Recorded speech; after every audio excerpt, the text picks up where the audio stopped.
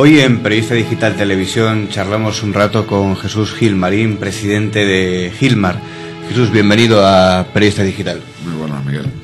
Eh, su empresa es una, es una de las mejores inmobiliarias del país y la primera pregunta es si a usted de pequeño le gustaba jugar al Monopoly. Hombre, lo primero que me has dicho me halaga mucho. Eh, no sé exactamente si es así, me encantaría. Y lo segundo, eh, pues sí, el Monopoly es un juego muy entretenido y además que eh, efectivamente ha tenido mucho que ver eh, en mi trayectoria, Sí, ¿no? digamos. Y, y, bueno, ahora ya... en- eh, ya- Construir hoteles, eh, comprar barato, vender caro, eso... Sí, sí, que además ya uno, eh, que uno cuando se hace experto en el Monopoly ya se hace experto negociador con sus compañeros de juego, ¿no? En ese caso. Lo malo es que mi hija me gana y, y todavía tiene que demostrar en la vida otras cosas, ¿no? Y, y, bueno, lleva 25 años en el sector de la compra-venta de inmuebles. Eh, no sé si recordará la primera casa que, que vendió. Sí, sí, perfectamente, vamos, no se me olvidará, creo, hasta el día que me muera. La primera casa que vendí no fue en eh, Gilmar, fue en Los Ángeles de San Rafael y, vamos, me acuerdo de los nombres, de los apellidos, me acuerdo de Las todo. personas que compraron la casa, dónde También estaba me la acuerdo de casa. La primera operación que hicimos en Gilmar. Gilmar fue muy curioso porque eh, empezamos eh, Manolo, Manolo Marrón y yo, mi socio, eh, con muy poquito dinero. Él cuando digo la cifra dice, no digas tampoco que, van a pensar que éramos unos tiesos. Y es que realmente éramos unos tiesos. O sea, no teníamos prácticamente donde, donde caernos muertos, como vulgarmente se dice. Y lo que pasa es que teníamos una ilusión arrolladora. Y, empezamos pensando que eh, lo más eh, lujoso, lo más eh, glamuroso en aquellos momentos era eh, los chalés y, entendíamos que los pisos era una cosa que no nos iba a permitir diferenciarnos de lo que en aquellos momentos existía y empezamos por los chalés. Eh, nos costó pues como casi tres meses hacer la primera operación y ya estábamos haciendo cuentas porque claro los anuncios Claro. en los periódicos entonces se vivía de- del ya del mítico ya eh, eh, nosotros le debemos muchísimo a la, a la prensa escrita. eh, como has dicho, hacemos 25 años y hemos vivido prácticamente de, de la prensa. Ha sido el medio eh, que básicamente nos ponía en contacto con clientes.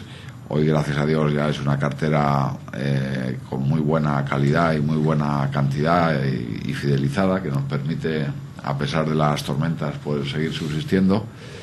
Y, es verdad que, como te decía, la prensa ha sido muy importante y hoy, pues quizá por desgracia, está pasando eh, a no ser, desde luego, la protagonista en cuanto a generar eh, contactos. Entendíamos que el chalet era un lujo porque quien se permitía vivir a 15, 20 kilómetros para venir a trabajar, pues no era, eh, digamos, no estaba al alcance de todo el mundo. Hoy, sin embargo, pues es casi al contrario. Hay Sí, sí. gente que se puede permitir vivir en un chalecito adosado a 20, a 30 kilómetros y a lo mejor eh, lo que realmente es más caro es un piso Es en el centro, claro. ¿Cómo cambian las cosas, no? Pues sí, es verdad. Ustedes incluso eh, atisbaron este, este, este posible cambio de realidad en una evolución posible que llevara el mercado inmobiliario en ese momento. Hombre, no sé si lo atisbamos o, o digamos que la ola nos llevaba, ¿no? Eh, estábamos en la cresta y... y donde fuera- Claro, nosotros teníamos que estar, ¿no? Claro. Eh, ya ah, eh, es muy bonito empezar vendiendo a una persona y, y hace poco pues vender a hijos y a nietos. Eh, realmente es una satisfacción muy grande. Y eso, pues, eh, indudablemente lo que confirma es que el mercado ha cambiado mucho. Mm. Y bueno, ahora eh, mucho se habla de, de apretarse el cinturón. ¿Cree que todo el mundo se lo está apretando de la misma manera o son siempre los mismos los que a los que se les pide que se aprieten el cinturón? No, no, yo creo que aquí se lo está apretando quien hacía mucho tiempo que no, no soñaba ni siquiera que tenía que ponerse cinturón.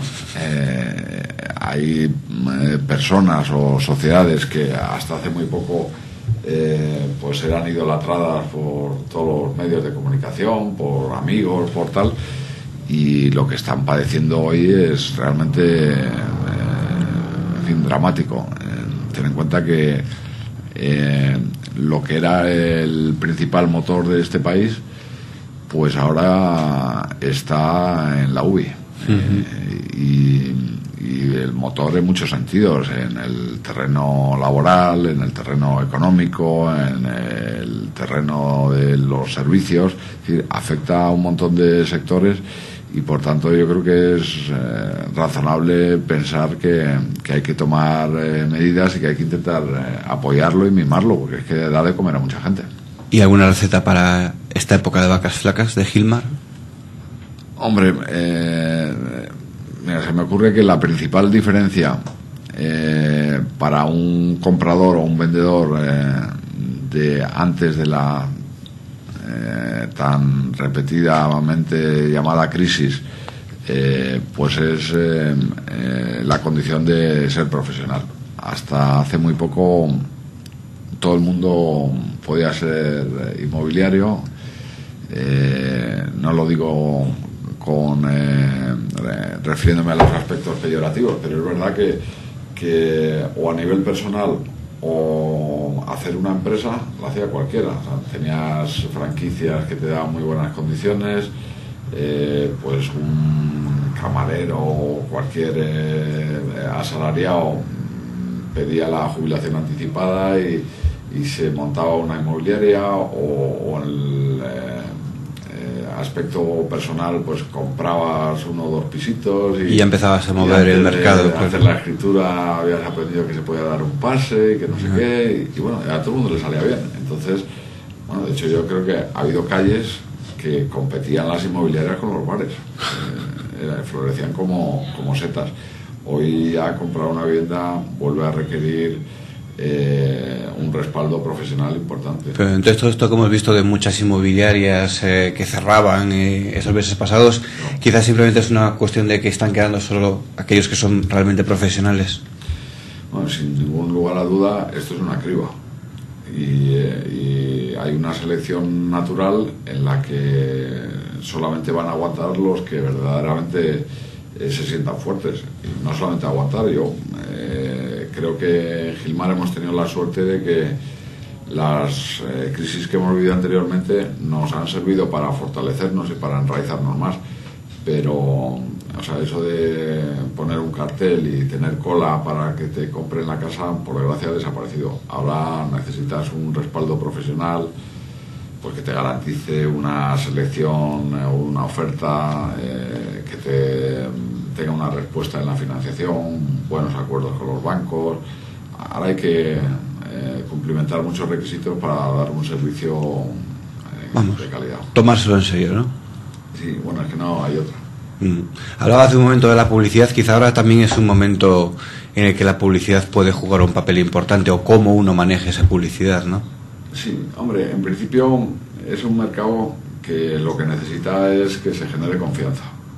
Eh, porque si no hay confianza, pues la publicidad probablemente sea eh, como eso de pescar con redes muy, muy anchas y sí, los peces por todos lados. Entonces, hace falta que el mercado inmobiliario recupere cierta estabilidad, pues eso, que permita a un comprador eh, estar convencido de que ha hecho una compra buena y que no se ha equivocado y un vendedor eh, pues que le permita mm, haber obtenido una, una eh, un beneficio una plusvalía razonable, que no tiene ni por qué ser tan exagerada como lo ha sido, pero sí tiene que guardar unos mínimos. Este tiene que ser un mercado seguro porque supone muchos intereses eh, para el país y para los bancos y para un montón de administraciones y entidades.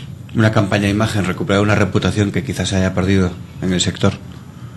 Eh, hombre, hay muchos matices en eso. No, no, estamos hablando de, una imagen deteriorada en un sentido negativo. Simplemente estamos hablando de una inestabilidad en los precios. O sea, yo creo que eh, a pesar de todos los pesares, eh, el sector inmobiliario es un sector serio que ha respondido con firmeza a los compradores siempre hay excepciones, siempre tal, pero en general eh, comprar una vivienda en España era una cosa bastante segura por la que apostaban el 90% de los españoles y eso es lo que hay que intentar recuperar en la medida de lo posible. Mm. Por ejemplo, el caso de, de Fadesa es un caso aislado según su punto de vista.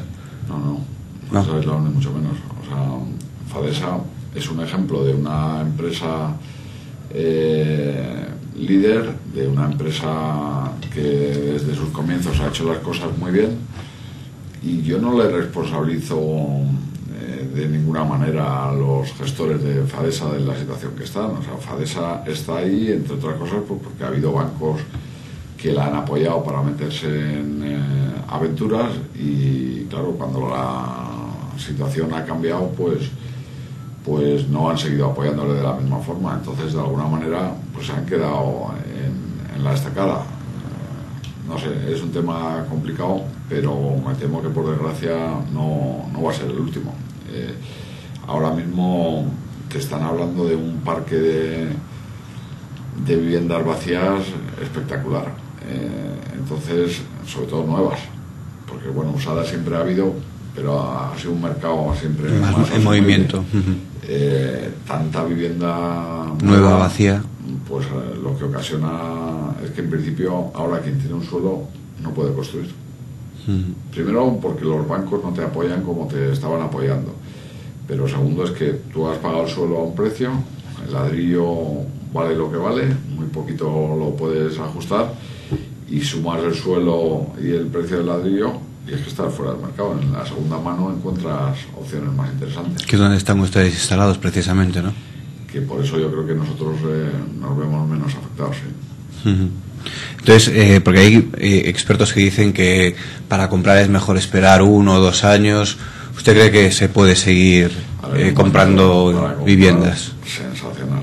Mm, El mejor momento, te diría, de los últimos pues casi 15 años. Ahora hay eh, una oferta muy buena porque, claro, el mercado mmm, tuvo que ser muy exigente para satisfacer eh, eh, la demanda y tuvo que crear muchas tipologías, muchos tipos de vivienda. Antes era sota, caballo y rey. Cuando nosotros empezamos, pues, dos dormitorios, tres dormitorios, punto. Ahora eh, pues eh, tienes un mercado de lofts, tienes un mercado de, de estudios, tienes un mercado eh, de eh, adosados, tienes un mercado de chales independientes, tienes unas barriadas con ajardinadas, con todos los servicios. Ahora muchas de las viviendas se construyen ya con vivienda, o perdona, con piscina, Sí, sí. con pista de pádel, con no sé qué. Eso ha, ha variado mucho en el sentido de que que O sea, ha diversificado, ha diversificado la oferta, claro, eso es bueno, ¿no? Exacto. Y bueno, eh, una, una cosa más, su familia está, ha estado siempre muy vinculada con el fútbol. No le vamos a preguntar sobre, sobre esa etapa, pero sí nos gustaría saber si alguna vez ha metido usted algún gol por la escuadra en sus negocios. Eh, he metido, me han metido y me seguirán metiendo y seguiré metiendo. Quiero decir que, que el mundo de los negocios creo que es así. Eh, el fútbol, pues yo he estado de 17 años de vicepresidente del Atlético de Madrid, de lo cual me siento muy orgulloso, pero, pero eh, sí, sí, vamos, goles ahí. Estaba intentando eh, pensar anécdotas y paralelismos con lo que me has dicho, sí, sí, hay muchísimos, pero, pero de todo tipo. Yo creo que en la vida diaria, ¿no? Claro. imagino que en tu profesión pues te pasará lo mismo. Tú habrás metido alguno y te habrás metido otro. ¿Y recuerda alguna oferta estrambótica o la más estrambótica que le hayan hecho por un piso? Ah, veces de todo. Imagínate eh, los pisos que llevará vendidos Gilmar. Eh, no sé, te puedo decir, eh, pues cambiar pisos por, eh, por cualquier, bueno, no te diría por cualquier, por puertas, por, eh, por bronces, por, bueno, permutas. Ha habido momentos O sea, que también- ahora yo creo que se volverá un poco a eso, ¿no? Al trueque. Al trueque, ¿no? Sí, como los fenicios, el dinero no, no va a ser fácil obtener, pues volveremos un poco a eso. Entonces que se cierren los negocios de compraventa con, con trueques, ¿no? Como, como antaño. Sí, es verdad que el tema de, la, de las eh, permutas en épocas de crisis tiene, Funciona. sí. Lo que pasa es que, bueno, lo estamos llevando a extremos quizá muy, muy tal, pero pero que se darán eh, operaciones que normalmente no se daban, seguro. España siempre se ha caracterizado por, por eh, que el sector inmobiliario ha sido un motor y creo que, que no, mira, aunque solamente sea pensando en que tenemos la mejor eh, climatología de Europa, que tenemos eh, un carácter y unos servicios que le atraen mucho a la gente, tenemos que estar preparados para alquilar, para ofrecer pues eh, todos los sistemas que en otros momentos no han funcionado y que eh, si lo unes con el número de viviendas que hay vacías van a surgir eh, muchos sistemas de comercialización, van a surgir posibilidades que, que hoy no las teníamos y que van a aparecer. Es decir, el motor inmobiliario no se ha apagado, ese motor, ¿no? No, no, ni mucho menos. Es que representa muchísimo para este país. Representa muchísimo, no se puede parar. Eh, si se para, el, eh, yo creo que quiebra este país. Lo necesita para subsistir. Yo no sé la cantidad de transportistas, de, de materias primas, de, de empresas, de publicidad, de, de marketing de- que están en torno al sector inmobiliario, eh, no se puede de la noche a la mañana pararlo. Es, es como si te paran a ti el corazón, creo yo. Pues nada, Jesús, muchísimas gracias por compartir este momento aquí con nosotros Nada, Periodista Digital. Gracias a ti, Miguel.